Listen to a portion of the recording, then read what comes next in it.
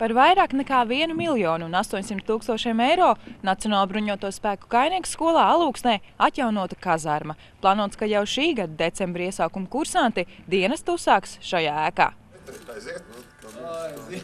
Pēc svinīgās atklāšanas ceremonijas pirmie renovētajā kazarmā iegāja kursanti, kas Alūksnē bija ieradušies tikai divas dienas iepriekš.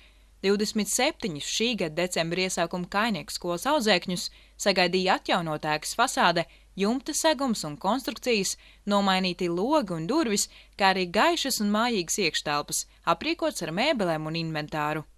Šodien, protams, patīkams emocijas, kā jau ienākot jaunās telpās, viss jauns, smaržīgs. Pirmkārt, iepatikās jau tas, ka skapis lielāks ir pašam, ka visu var izkrāmēt smuki. Protams, toaletes lielākas, sauna. Ir padomāts par to, lai meitenēm būtu atsevišķas toaletes un dušas tas nu, pie visa ir piedāvāts. Šobrīd kazarmā var izmitināt 200 cilvēkus. Tas ir uz pusi mazāk nekā iepriekš, lai kursantiem būtu ērtāk. Domājot par viņu labsajūtu, ir izveidota atpūtas telpa un ir izvietotas žāvēšanas skapji. Vēl jaunums ir arī mācību klases. Pamats tā ir dzīvošana, atrašanās ārpus nodarbību laikā. Mums ir klasē tagad pēc e, jaunā projekta Bet e, klasē ir nodarbībām, kurus var izvērst, kuras var izvērst, teiksim tā, kursā sastāvā.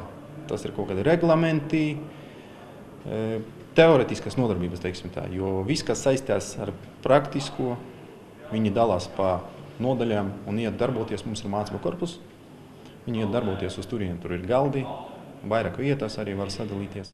Jāpiebilst, ka Igaunijā šāda veida mūsdienīgas kazarmas kalpo jau vairākus gadus, tāpēc pirms projektu uzsākšanas kainieku skolas pārstāvi devās pie ziemeļu kaimiņiem, lai uzklausītu viņu pieredzi un pārņemt labo praksi Latvijā, piemēram, par jau iepriekš pieminētajiem žāvēšanas skapjiem. Mēs esam vienīgie, kuri Latvijas armijā vismaz, kuri izmēģināja šo projektu, paši strādājam, bijām, bijām mūsu karavīri aizbraukuši uz Igauniem, uz Vēru e, bataljonu, tad noskaties, ka viņi jau lieto tādu, tādu opciju, kā žāvēšanas kapis, tad paši mēs arī saprojektējam, paši sēdējam, domājam, zīmējam, jā, un tad e, tagad ieviesam. Vairāk nekā 3300 km2 plašā ēka ir celta pagājušā gadsimta 30. gados. Šī kazarama bija viena no pirmajiem Latvijas armijas objektiem Alūksnē, bet mūsdienās Nacionālajos bruņotajos spēkos tā ir pirmā vieta, kur izmitinās ik viens, kurš nolēms kļūt par profesionālā dienesta karavīru. Man prieks, ka tā ir vēsturiski māja saglabāta, nevis nojaukt un uzbūvēt jaunu, kas liecinās un būs šī vēsturiskā saikne. Nu, vienlaicīgi, protams, visu moderno ielikt vecā arhi mājas arhitektūrā ir daudz, daudz sarežģītāk. Bet tas ir ļoti veiksmīgi izdevies un, un vēl jau vairāk ir solis tālāk iets un ir izmantots arī šīs modernās tehnoloģijas, kā saules baterijas, kas ir padomās arī, kā tā māja tiks uzturēta nākotnē. Nacionālo bruņoto spēku komandieris Raimons Graubi norāda, ka ir svarīgi aizsardzības nozares finansējumu novirzīt ne tikai ieroču un militārās tehnikas iegādai, bet arī karavīru vajadzībām.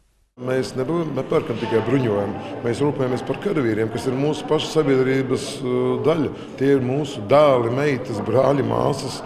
Un, un viņu dzīves apstākļus uzlabojot, mēs, mēs šādējādi arī pildām, ja tā var teikt, zināmu sociālu funkciju valstī. Un tas man īpaši gandarīja, jo, jo nav runa tikai par ieročiem, runa ir par morāli, par šo izpratni, par, par attieksmi pret karavīru, pret šo valsts pilsoni. Šis ir kārtējs piemērs. Šie līdzekļi tiek novirzīti arī šāda veida dažādu sociālo vai, vai, vai dzīves apstākļu uzlabošanas programmām.